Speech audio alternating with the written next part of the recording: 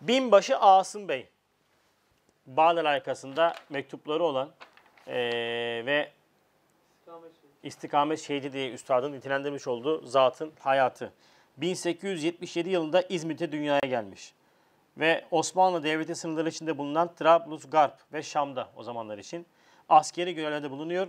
Cumhuriyet döneminde Muğla, Tefenli ve Manisa'da askerlik hizmetine devam ediyor. Ömrünün 40 yılı askeri görevde de koşturmakla geçmiş.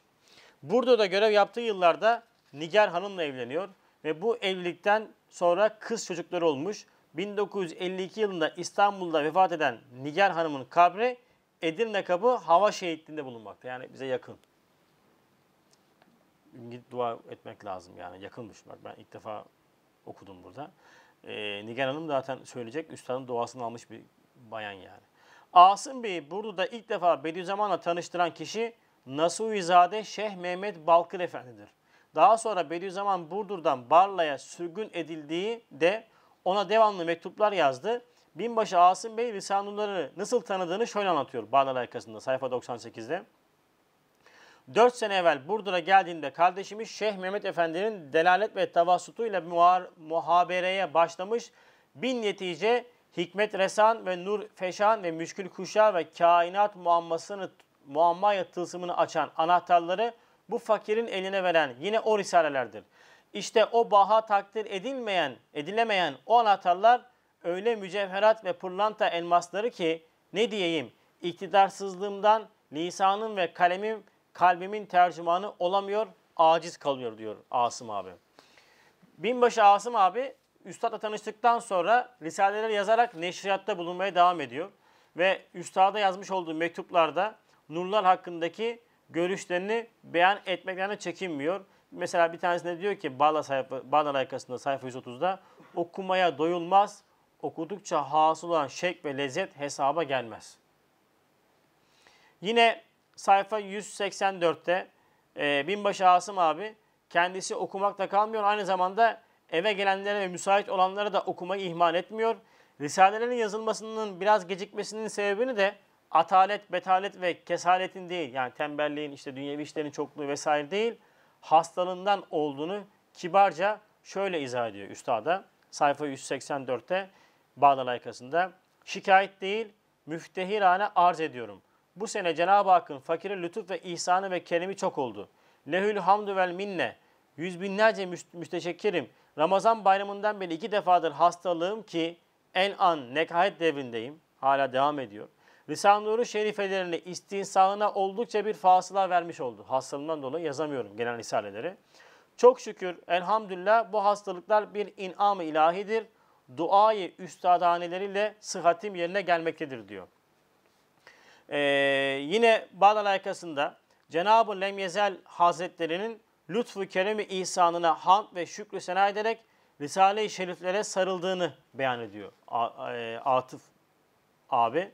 Bağdal arkasında yine geçen eşinin hastalığı noktasında Üstad e, hastalığın bir türlü devasını bulamayınca Asım abi sen söyle ne yapmış? Şifa almak için, şifa duası almak için üstadın yanına gidiyor.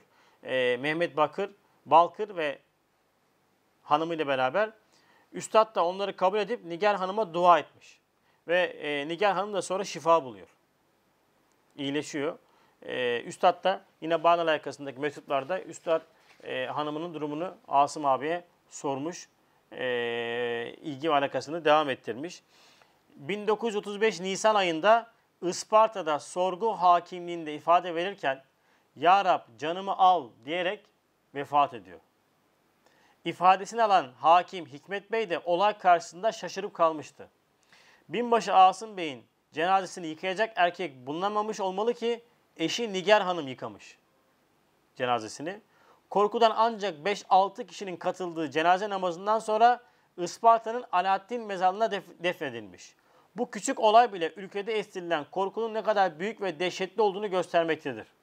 1935'te Tan gazetesi, sana atmış olduğum resmi, e, haberi manşetten bir mürteci ifade verirken öldü diye vermiştir.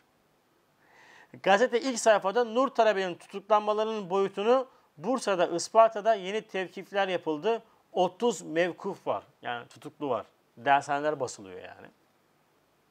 Binbaşı Asım Bey'in vefatında bir binbaşı mütekaidi emeklisi suçlu ifadesi alınırken birdenbire düştü öldü. Ona öyle haber veriyor.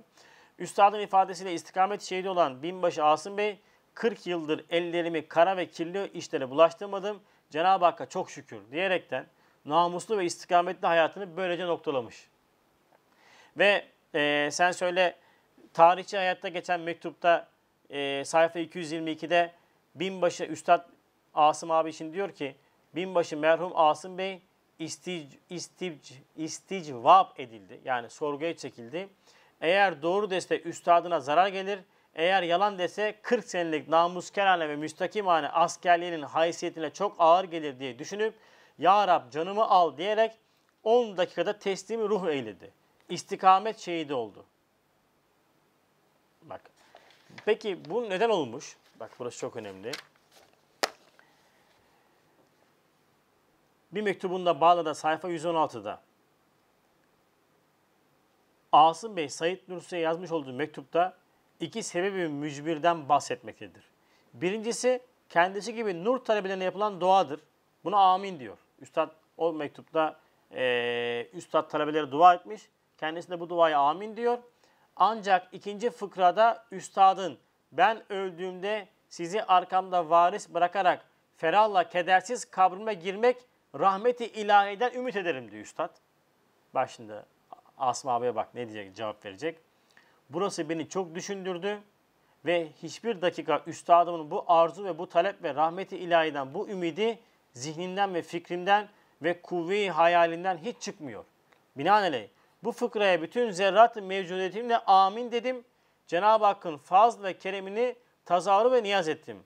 Bununla beraber ya Hazret riya değil, tasannu değil, içimden doğuyor, gönül şöyle istiyor ve arzu ediyor. Bu fakir üstadından evvel kabre girsin. Siz da siz dar bekanın ilk kapısına gelinceye kadar dar dünyada bulununuz ki bu fakir ve muhtaç olan talebenize arkasından göndereceğiniz dua ve hediyenizle mütenaim, şahat ve mesrur olsun. Ve siz sizin teşrifinizdeki Erhamur Rahim olan Rabbül Aleminden dua ve niyazım budur ki ruhum sizi istikbal etmek şerefiyle müşerref olabilmek gibi gönül arzu ve hayatı hasıl oluyor.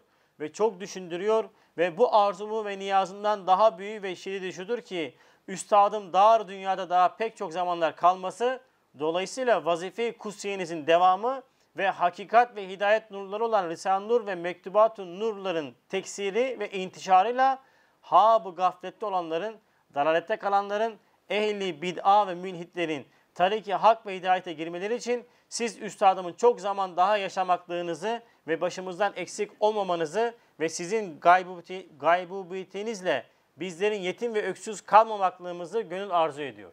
Üstadtan önce dua etmiş ölmek için ve Cenab-ı Hak o duayı kabul etmiş. İşte Asım Bey'in e, mektubatta 381'de geçen bir şiiri var.